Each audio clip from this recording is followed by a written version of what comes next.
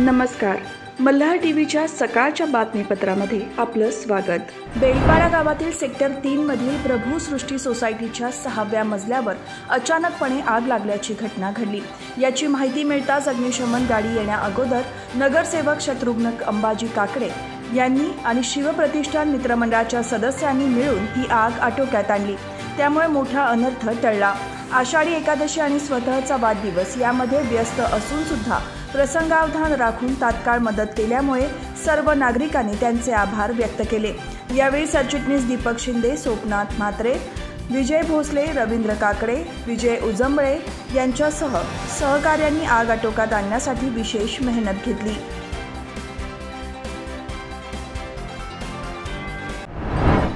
मनसे विद्यार्थी संघटनेचे अध्यक्ष अमित ठाकरे यांनी संघटना मजबूत करण्याच्या दृष्टिकोनातून संपर्क अभियान सुरू केलं आहे. रविवारी त्यांचे पेणमध्ये फटाक्याच्या आतषबाजीत स्वागत करण्यात आले.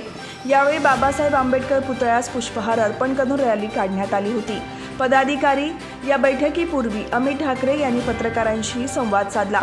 माझा हा कोकण दौरा असून राज्यात मनसेची विद्यार्थी संघटना कार्यरत आहे. या संपर्क अभियानातून विद्यार्थी संघटना मजबूत करणे आणि विद्यार्थ्यांच्या समस्या जाणून घेण्यासाठी मी येथे आलो असल्याचे त्यांनी स्पष्ट केले. तसेच आत्तापर्यंत झालेल्या दौऱ्यात युवक युवतींचा चांगल्या प्रकारे प्रतिसाद मिळत असून मनसे विद्यार्थी संघटना पुन्हा एकदा जोमाने काम करेल असा विश्वास अमित ठाकरे यांनी यावेळी व्यक्त केला. बेस्ट प्रशासनाकडून मुंबई विमानतळ ते खारघर दरम्यान सोमवारपासून बस सेवा सुरू झाली आहे. थेट विमानतळापर्यंत बेस्टची सेवा सुरू झाल्याने प्रवाशांचा वेळ आणि पैशाची बचत होणार आहे. बेस्ट प्रशासनाकडून मुंबई विमानतळ ते वाशी डेपो दरम्यान वातानुकूलित बस सेवा सुरू आहे. मुंबई विमानतळावरून खासगी वाहतूक सेवांकडून भरमसाठ दर आकारले जातात. त्यामुळे खारघरवासियांना आर्थिक भूर्दंड सहन करावा लागत आहे. त्यामुळे वाशी ते मुंबई विमानतळादरम्यान धावणारी बेस्टची बस खारघरपर्यंत वाढवल्यास अधिक सोयीचे होईल असे पत्र भाजपचे खारघर शहर अध्यक्ष ब्रिजेश पटेल यांनी महापौर डॉक्टर कविता चौतमल आणि आयुक्त गणेश देशमुख यांना दिले होते. याची दखल घेत पनवेल पालिकेने बेस्ट प्रशासनाकडे बस सेवा सुरू करण्याबाबत विचारणा केली होती. या दरम्यान बेस्ट प्रशासनाची ही बस सेवा खारघर ते मुंबई विमानतळादरम्यान धावली असल्याने खारघरवासी समाधान व्यक्त करत आहेत.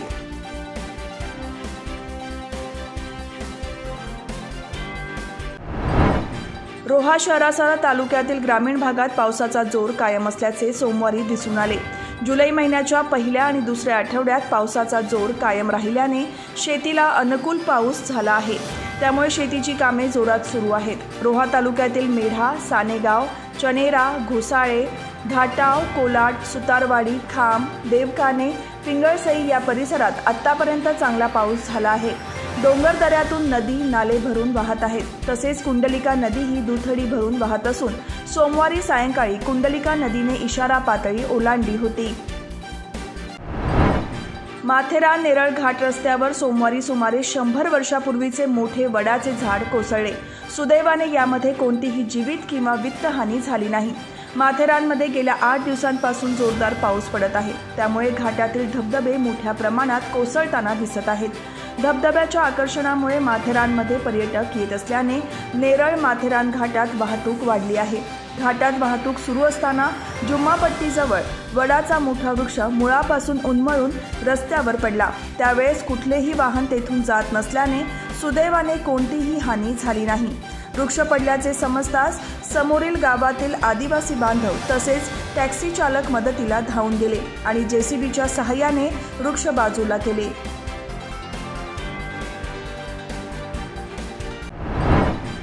सुधागड तालुक्याचे मुख्यालय असलेल्या पाली येथील सब पोस्ट ऑफिसमध्ये कर्मचाऱ्यांची वानवा आहे. येथे एक पोस्ट मास्टर आणि चार क्लार्क या पाच जागा रिक्त आहेत. परिणामी उपलब्ध कर्मचाऱ्यांवर अतिरिक्त कामाचा बोजा पडत आहे. तसेच लवकर काम न झाल्याने नागरिकांना एका कामासाठी सुद्धा कित्येक तास खोळंबावे लागते. शिवाय अपुऱ्या सोयीसुविधांमुळे नागरिकांची गैरसोय होत आहे. अपुरे कर्मचारी असल्याने राष्ट्रीय बचत प्रमाणपत्र सेव्हिंग खाती आणि विविध योजनांचा लाभ मिळण्यास दिरंगाई होत असल्याने नागरिक आणि खातेदार संतापले आहेत. रिक्त पदांमुळे उपलब्ध कर्मचाऱ्यांवर अतिरिक्त कामाचा बोजा पडत आहे. अनेक कामांना विलंब होतो. लवकर काम न झाल्याने नागरिकांना एका कामासाठी सुद्धा कित्येक तास खोळंबावे लागते. तसेच राष्ट्रीय बचत प्रमाणपत्र बचत खाते आणि विविध योजनांचा लाभ मिळताना देखील दिरंगाई होत आहे.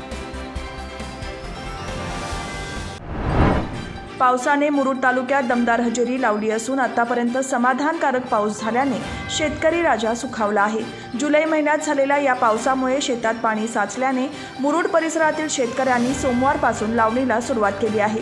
मुरुडमध्ये आतापर्यंत सरासरी एक हजार एकोणनव्वद मिलीमीटर पावसाची नोंद झाली आहे.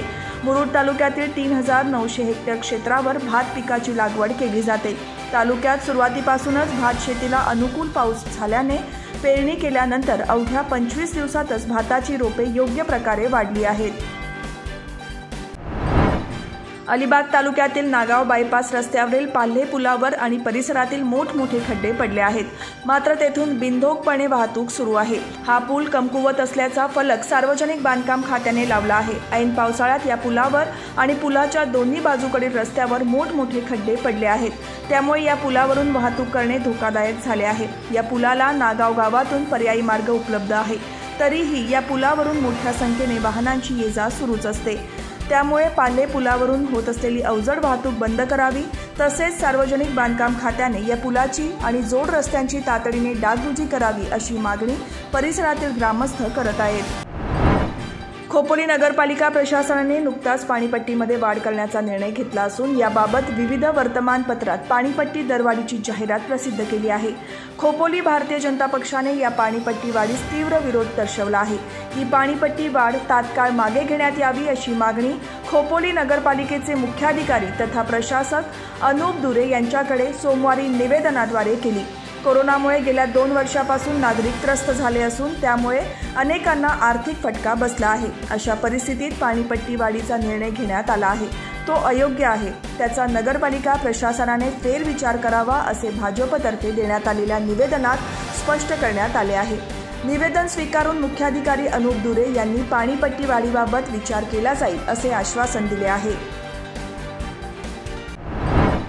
राज्यात सध्या ठिकठिकाणी अतिवृष्टी होत असून नदी नाल्यांना पूर आल्यामुळे स्थानिकांचा संपर्क तुटला आहे. अशा स्थितीत राज्य निवडणूक आयोगाने ब्याण्णव नगर परिषदा चार नगरपंचायती आणि पंधरा ग्रामपंचायतीमधील निवडणूक कार्यक्रम पुढे ढकलावा अशी मागणी भारतीय जनता पक्षाचे प्रदेशाध्यक्ष चंद्रकांत पाटील यांच्या नेतृत्वाखाली शिष्टमंडळाने सोमवारी मुंबईत राज्य निवडणूक आयुक्त यू पी एस मदान यांच्याकडे केली.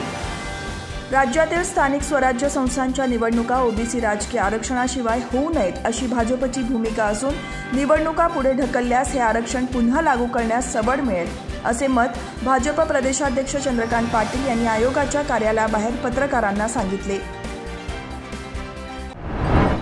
मुख्यमंत्री एकनाथ शिंदे समर्थक महाडचे आमदार आणि शिवसेनेचे मुख्य प्रतोद भरत गोगावले यांच्या कारला सोमवारी अपघात झाला. आमदार गोगावले यांचा ताफा ईस्टर्न एक्सप्रेस वेवरून निघालेला असताना आठ गाड्या एकमेकांवर आदळल्या. सुदैवाने या अपघातात कोणीही जखमी झाले नाही. स्वतः आमदार भरत गोगावले यांनी व्हिडिओच्या माध्यमातून अपघाताबद्दल माहिती दिली. त्यांनी सांगितले की टॅक्सी बिघडल्यामुळे हा अपघात झाला. टॅक्सी रस्त्यात उभी राहिली असता मागून जाणाऱ्या आठ गाड्या एकमेकांवर आदळल्या. आमची गाडी पाचवी होती. आमच्या पुढे पोलिसांची गाडी होती. पोलिसांच्या गाडीवर आमची गाडी आदळली आणि नुकसान झाले. पण कोणालाही काही दुखापत झालेली नसल्याचे त्यांनी सांगितले. पोलादपूर तालुक्यातील नरवीर तानाजी मालुसरे यांची कर्मभूमी उमरट येथील ऐतिहासिक घटनांचा साक्षीदार असलेला एक विशाल वृक्ष अखेर कोसळला.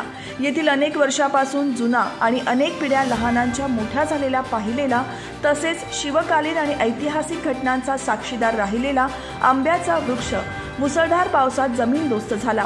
सदर वृक्ष कोसळल्याने अनेक जण हळहळले. मात्र कोणतीही अनुचित दुर्घटना घडली नाही. परंतु काही प्रमाणात स्मारकाच्या तटबंदीचे नुकसान झाले आहे अशी माहिती सामाजिक कार्यकर्ते रामदास कळंबे यांनी दिली आहे.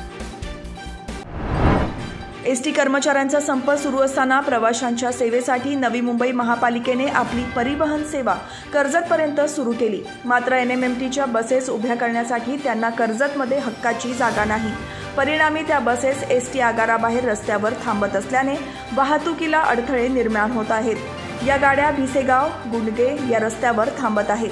नागरिक बाजारहाट तसेच रेल्वे पकडण्यासाठी विद्यार्थी शाळेत जाण्यासाठी या रस्त्याचा वापर करतात आणि या एन एम एम टी बसेसमुळे वाहतुकीला अडसर होत असून अपघात होण्याची शक्यता वाढली आहे. त्यामुळे एन एम एम टीच्या बसेस एस टी स्थानकात उभ्या कराव्यात अशी मागणी या परिसरातील नागरिक करत आहेत. पनवेल महापालिकेच्या विद्यमान सदस्यांची मुदत आठ जुलै रोजी संपल्याने आयुक्त गणेश देशमुख यांची प्रशासक म्हणून नेमणूक करण्यात आली आहे. त्यामुळे यापुढे निवडणुका होईपर्यंत महापालिकेतील विकास कामे प्रशासकाच्या माध्यमातून होणार आहेत. महापालिकेची पहिली सार्वत्रिक निवडणूक दोन मे दोन हजार सतरा रोजी झाली होती.